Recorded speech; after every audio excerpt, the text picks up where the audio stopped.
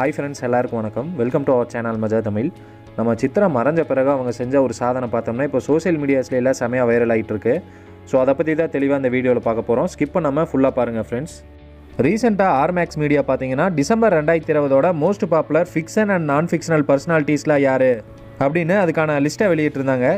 இது பார்த்தீங்கன்னா தமிழ்நாடு அளவில் இல்லை இந்திய அளவில் மக்கள் விரும்பப்பட்ட most popular fiction and non fictional personalities யார் அப்படிங்கிறத மென்ஷன் பண்ணியிருக்காங்க. இதை பார்த்தீங்கன்னா உங்களுக்கே தெரியும்.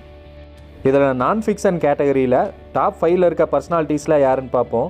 ஃபஸ்ட்டு குக் வித் கோமாளி புகழ் இருக்கார். ரெண்டாவது இடத்துல பார்த்தீங்கன்னா பிக் பாஸ் ஆரி அர்ஜுனன். மூணாவது இடத்துல பார்த்தீங்கன்னா குக் வித் கோமாளி சிவாங்கி இருக்காங்க. நாலாவது இடத்துல பார்த்தீங்கன்னா பிக் பாஸ்லேருந்து பாலாஜி முருகதாஸ். அஞ்சாவது இடத்துல பார்த்தோம்னா பிக் பாஸ் கமல்ஹாசன் இருக்கார். ஓகே அடுத்து மோஸ்ட் பாப்புலர் ஃபிக்ஷன் கேரக்டர்ஸ் பார்ப்போம். இதில் தான் நம்ம முல்லை சாதனை பண்ணியிருக்காங்க. முதல் இடத்துல இருக்கிறதே பார்த்தீங்கன்னா நம்ம பாண்டியன் ஸ்டோர் முல்லை தான். நம்ம விஜய் சித்து நடித்ததுனால மட்டும்தான் இந்த முல்லைங்கிற கேரக்டருக்கு இவ்வளோ பாப்புலாரிட்டி வந்துச்சு. கண்டிப்பாக வேறு யாராவது இந்த ரோலில் நடிச்சிருந்தாங்கன்னா இந்த அளவுக்கு ஹிட் கொடுத்துருக்குமா அப்படின்னு கேட்டால் ஒரு மிகப்பெரிய கேள்விக்குறி தான் நம்ம சித்து நடித்ததுனால மட்டும்தான் இந்த அளவுக்கு அந்த கேரக்டர் பேசப்பட்டுச்சு அப்படிங்கிற மாதிரி நான் ஃபீல் பண்ணுறேன் உங்களோட கருத்துக்கள் என்ன அப்படிங்கிறத கீழே தெரிவிக்கலாம். மோஸ்ட் பாப்புலர் ஃபிக்ஷன் கேரக்டர்ஸில் ரெண்டாவது இடத்துல இருக்கிறது யார் அப்படின்னு பார்த்தீங்கன்னா பாரதி கண்ணம்மா சீரியல் கண்ணம்மா.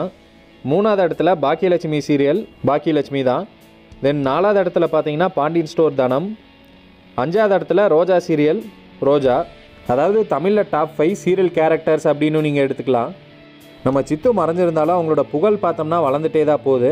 அது அப்படியே தான் போகணும் அப்படின்னு சொல்லி நம்மளும் வேண்டிப்போம். கண்டிப்பாக இந்த விஷயம் நம்ம சித்தோட ஃபேன்ஸ்க்குலாம் ஒரு ப்ரௌட் மூமெண்ட்டாக தான் இருக்கும் அப்படின்னு சொல்லி நான் ஃபீல் பண்ணுறேன் உங்கள் கருத்துக்கள் என்ன அப்படிங்கிறத கமெண்ட் பாக்ஸில் லீவ் பண்ணலாம். தேங்க்யூ